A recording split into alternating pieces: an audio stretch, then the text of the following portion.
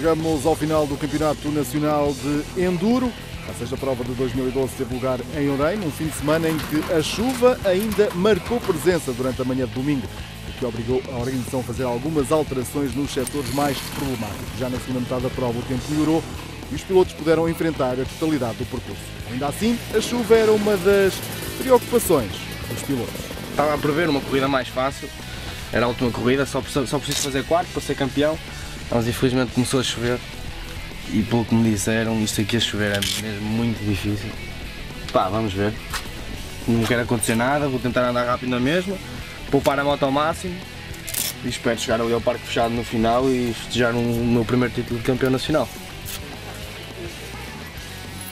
Espera-se uma corrida bastante dura, tendo visto uh, as condições climatéricas, começou a chover agora há pouco tempo aqui.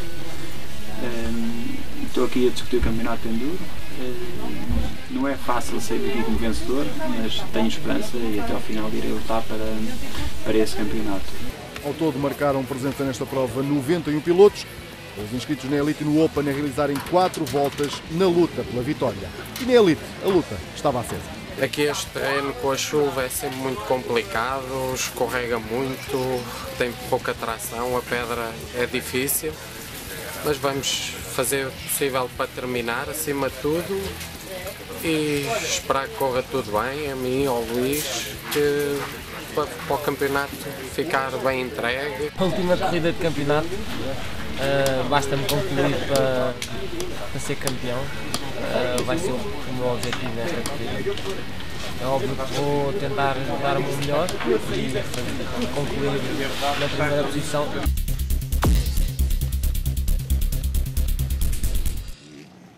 E arrancamos com a categoria de Open 2. João Ortega terminou nesta prova de Orem na sexta posição entre estes pilotos. Cumpriu as quatro voltas ao percurso com um tempo superior a 50 minutos.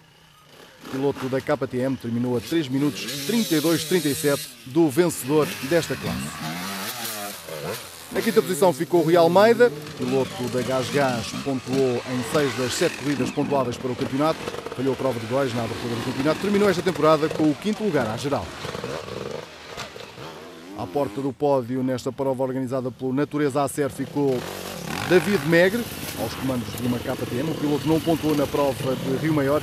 Assim, no fim de, neste fim de campeonato, terminou com 75 pontos à geral e o terceiro lugar na classe Open 2 do Campeonato Nacional de Enduro. Saúl Pereira em KTM a terminar esta prova de Ourém na terceira posição à geral do Open 2, a 1 minuto 20 14 do vencedor. Na tabela absoluta, após a realização das sete etapas do Campeonato Open 2 de Enduro, terminou o ano na quarta posição com 67 pontos. Saúl Pereira, que esta temporada só falhou na prova de facto. No lugar neste domingo de Enduro ficou Nuno Oliveira, piloto da Sherco, chegou aqui com uma diferença de 7 pontos para Luís Moraes, o espanhol. Bastava-lhe aqui o quarto lugar para vencer a classe à geral. Fez melhor, fez o segundo lugar e acabou por conquistar o título nacional do Open 2. Já Luís César Moraes fez o que lhe competia na tentativa de vencer a classe à geral.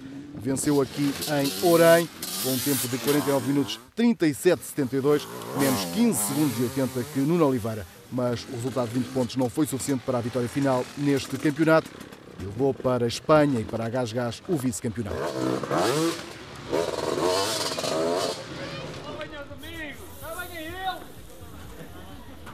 Mais uma vez um aplauso para.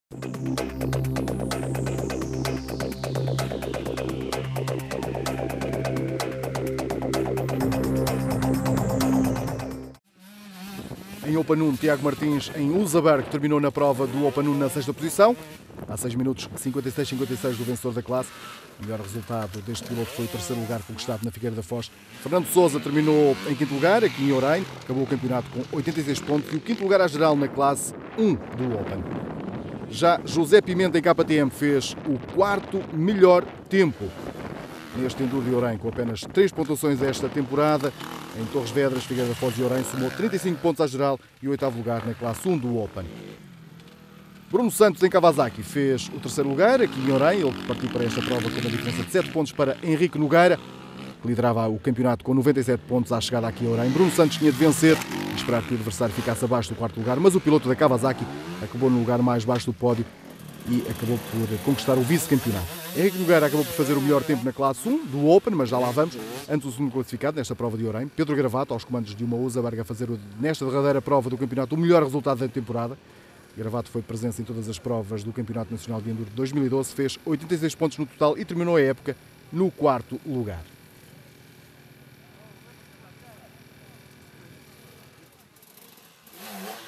Já Henrique Nogueira acabou por ser o grande vencedor esta temporada, no ano de estreia no Open 1 do Enduro Nacional.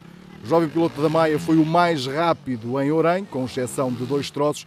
Fez o tempo de 49 minutos, 3, 17, venceu a prova e conquistou o campeonato na classe 1 do Open.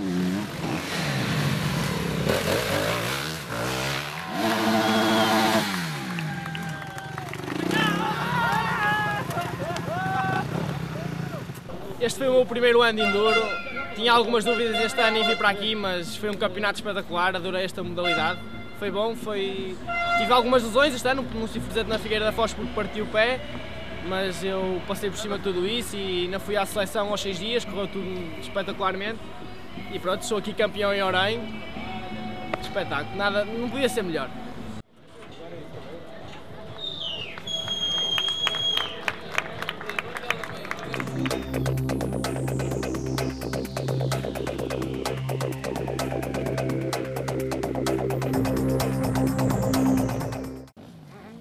Elite 2, Carlos Alberto fechou a temporada com o terceiro lugar em Orem, ele que chegou a esta prova com 65 pontos, o terceiro lugar à geral.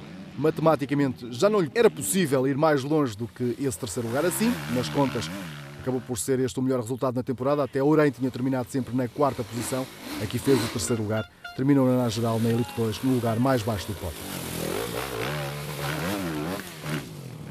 Mário Patrão procurou vencer aqui em Orem. Ele chegou a esta prova no segundo lugar à geral e só mesmo se Diogo Ventura não pontuasse é que podia pensar no título.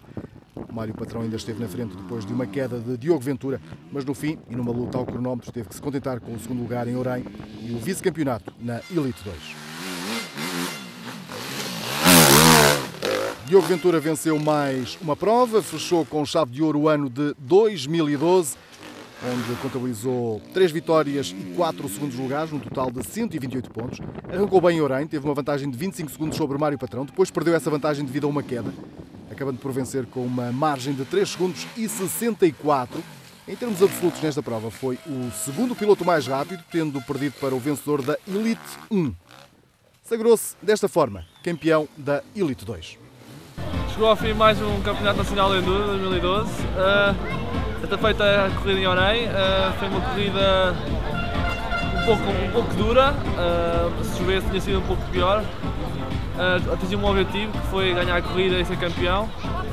durante o ano todo houve muito trabalho e o trabalho com a minha equipa foi fantástico, com meus amigos, com meus familiares, ajudaram muito e sem eles nunca tinha conseguido.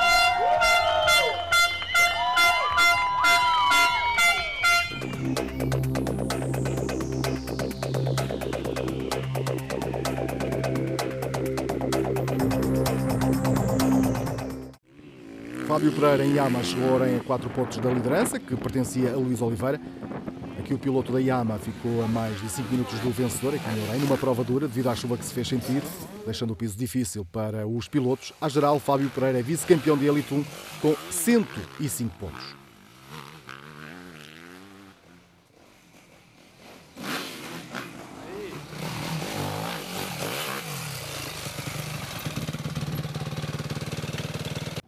Quem acabou por andar no limite em Orem foi Paulo Felício em. Fez pela quarta vez na temporada o segundo lugar na Elite 1. Nas contas chegou à derradeira prova de, do Enduro com o terceiro lugar na classe, sem qualquer hipótese de poder subir mais do que essa posição. Em termos absolutos do Enduro de Orem, fez o terceiro melhor tempo entre todos os pilotos que fizeram a prova. Nas contas finais do campeonato, acabou por terminar na terceira posição desta classe. Dificuldade que os pilotos encontraram acabou por ser mesmo o piso bastante complicado devido à chuva. Acabou por ser grande o espetáculo com muito público também a assistir a esta prova. E depois, e com 19 anos, Luís Oliveira venceu pela primeira vez entre os pilotos da elite nacional.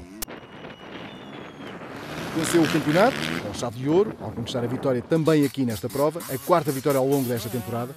Um ano bastante positivo para o piloto, depois do acidente de Torres Vedras, a segunda etapa do Nacional. Aqui em Orem, nos tempos absolutos, foi o mais rápido e a coroa de vencedor na Elite 1 é dele, em 2012.